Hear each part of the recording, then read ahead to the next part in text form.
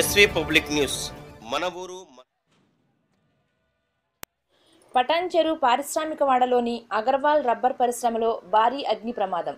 ఎగసిపడుతున్న మంటలు. పరిశ్రమ పూర్తిగా దగ్ధం. చేతులు ఎత్తివేసిన ఫైర్ ఇంజన్స్. పటాన్చెరులోని అగర్వాల్ రబ్బర్ పరిశ్రమలో అగ్ని ప్రమాదం. పూర్తిగా దగ్ధమైన పరిశ్రమ.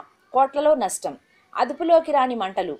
అగర్వాల్ పరిశ్రమ గోదాంలో జనవరిలో కూడా అగ్ని ప్రమాదం. అప్పుడు గుండెపోటుతో చైర్మన్ చనిపోయాడు. ఇప్పుడు మళ్ళీ భారీ అగ్ని ప్రమాదం. పరిసర ప్రాంతాల్లో విద్యుత్ నిలిపివేసిన అధికారులు. వందలాది కార్మికులు రోడ్డున పడ్డారు. ఎంత శ్రమించినా అదుపులోకి రాని మంటలు.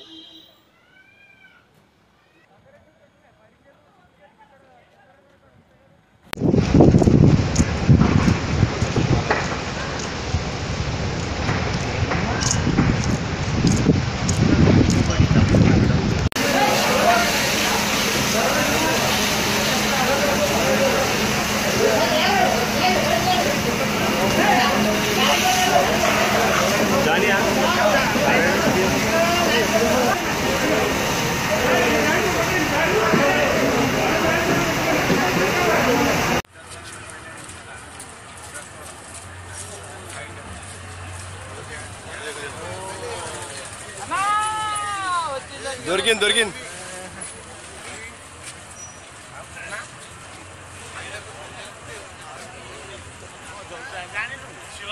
రెండు గంటల నలభై నిమిషాల ప్రాంతంలో ఈ పటాచేరు పారిశ్రమ వాడలోని ఈ అగ- అగర్వాల్ రబ్బర్ కంపెనీలో అగ్నిమాన్ సంబంధించిన సమాచారం వచ్చింది.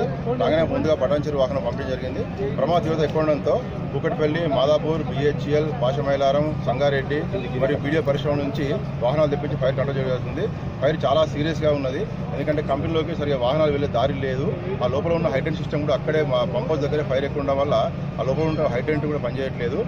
సో సాధ్యమైనంత వరకు ఫైర్ కంట్రోల్ చేయడం ట్రై చేస్తున్నాము. పరిశ్రమ మొత్తం వ్యాపించే ప్రమాదం ఉంది. ప్రస్తుతం మాత్రం ఫైర్ కంట్రోల్ చేయడం చాలా తీవ్రంగా ప్రయత్నిస్తున్నాము. పరిశ్రమ లోపల ఫైర్ అయింది మనకు. ఫైర్ అయింది పరిశ్రమ లోపల ఫైర్ అయింది మనకు. పరిశ్రమ లోపల ఒక పక్కకు అయింది మిగతా ప్రాంతాలు విస్తరిస్తుంది. పరిశ్రమ లోపల ఫైర్ అయింది. ఈ ప్రమాదానికి కారణాలు ఏంటంటారు ప్రమాద కారణానికి తెలియరాలేదు ఫస్ట్ మేము వచ్చేసరికి ఫైర్ సీరియస్గా ఉంది. ఫస్ట్ ప్రియారిటీ మేము ఫైర్ చల్లపడానికి ఫైర్ ఎక్స్టెన్షన్ కాబట్టి చూడడానికి ట్రై చేస్తున్నాము. చుట్టుపక్కల ఇండస్ట్రీస్ కానీ ఇతర ప్రాంతాలు ట్రై చేస్తున్నాము. కాకపోతే చాలా తీవ్రంగా ఉండే. మెయిన్ ఇంపార్టెంట్ మనకు లోపలికి యాక్సెస్ లేదు. ఫైర్ ఇంజన్స్ లోపలికి పోవడానికి యాక్సెస్ లేక లోపల చెట్లు మొత్తం దారి లేక ఇబ్బంది అవుతుంది. సాధ్యమైన తొందరగా చుట్టుపక్కల వేరే ప్రాంతాల నుంచి అటు నుంచి యాక్సెస్ చేసుకొని పోవడానికి ట్రై చేస్తున్నాము. కా- కారణానికి తెలియలేదు. రాసి నష్టం విరామం ఇంకా తెలియలేదు. ఎన్ని గంటల నుంచి మంటలు చెలరేగుతున్నాయి టూ ఫార్టీకి ఒక ఫైర్ కాల్ వచ్చింది. అంటే ఇప్పటివరకు ఎన్ని గంటలు అయింది? టూ ఫార్టీ ఇప్పుడు దాదాపు చూడండి ఇప్పుడు దాదాపు ఫైవ్ అవుతుంది దాదాపు టూ అండ్ హాఫ్ అవర్స్ జరిగింది దాదాపు. ఇంకా చాలా టైం పడుతుంది. ఇప్పుడు ఎన్ని కోట్ల ఆస్తి నష్టం జరిగింది? ఇంకా ఆస్తి నష్టం రాలేదు. ఇంకా ఫస్ట్ మనం ఫైర్ కంట్రోల్ చేసిన తర్వాత మేనేజ్మెంట్ మాట్లాడిన తర్వాత ఇంకా ఫైర్ చాలా సీరియస్గా ఉంది. ఇంతవరకు అయితే ప్రాణ నష్టం ఎవరో తెలియరాలేదు. లోపల ఇంకా కెమికల్ డ్రమ్ములు లేయటం ఇంకా చాలా సీరియస్గా ఉంది. వాళ్ళని కంట్రోల్ చేస్తున్నాం బయటకు రమ్మని చెప్తున్నాం ఇంకా. ఈ ముందుగా ప్రాణ నష్టం జరగకుండా చూసుకుంటూ మేము ఫైర్ ఫైటింగ్ చేయడం జరుగుతుంది. ఫైర్ చాలా సీరియస్గా ఉంది. ఇంకా టైం ఇప్పుడే చెప్పలేను నేను. ఎందుకంటే ఎంతవరకు వ్యాపిస్తుందో దాన్ని బట్టి మనం ఫైర్ కంట్రోల్ చేయడానికి అవకాశం ఉంటుంది.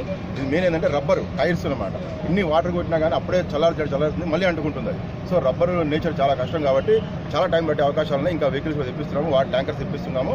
కాబట్టి ఎన్ని తెప్పించినా మనకి ఏదో లోపలికి యాక్సెస్ లేక మెయిన్ ఇంపార్టెంట్ మనకు ఇక్కడ చాలా అడ్డంకి ఏంటంటే మనకు లోపలికి వెళ్ళే దారి అంటే వా ఎక్కడ ఫైర్ ఉందో అక్కడికి వాహనాలు వెళ్ళే దారి దగ్గరికి పోయే దారి లేక ఇబ్బంది కూడా జరుగుతుంది.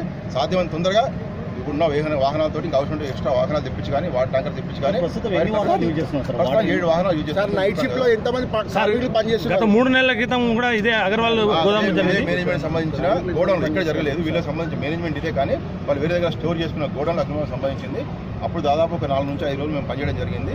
సేమ్ అదే మేనేజ్మెంట్గా ఇది ఆ ప్రమాదానికి ప్రమాదానికి ఏమైనా లింక్ ఉందా? ఇంకా తెలియలేదు పూర్తి వివరాలు ఫస్ట్ ఏంటంటే మా ఫైర్ ఫైటింగ్ అయిన తర్వాత పోలీసు వారు మేము అందరం కలిసి ఒక ఇన్వెస్టిగేట్ చేసి కారణం తెలియజేస్తాము. ఫస్ట్ ప్రియారిటీ ఫైర్ చాలా చూసారు పాటలు అయితే నాకు గుర్తున్నంత వరకు అది మగధీర సినిమాల?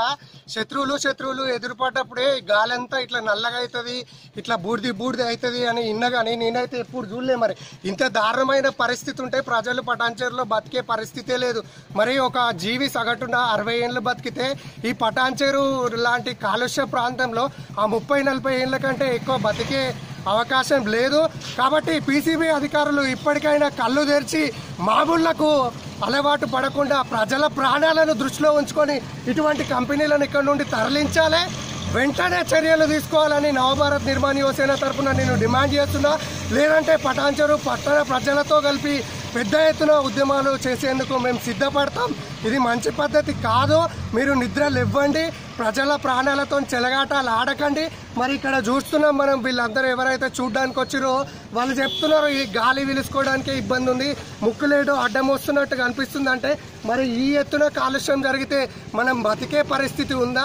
మరి పటాన్చెరు ప్రజలందరూ తట్టబుట్ట చదువుకొని మరి ఎక్కడన్నా గ్రామాలకు వలస వెళ్ళాలా? లేదంటే ఈ ప్రాంతాన్ని ఈ కంపెనీలకే వదిలేద్దామా అని నేను ప్రశ్నిస్తున్నా. కాబట్టి దీనిపైన కఠినమైన చర్యలు తీసుకొని వెంటనే ఇటువంటి కంపెనీలను మూసేసి దూర ప్రాంతాలకు తరలించాలి. తరలించాలని మీరు కోరుకుంటున్నాను. ధన్యవాదాలు.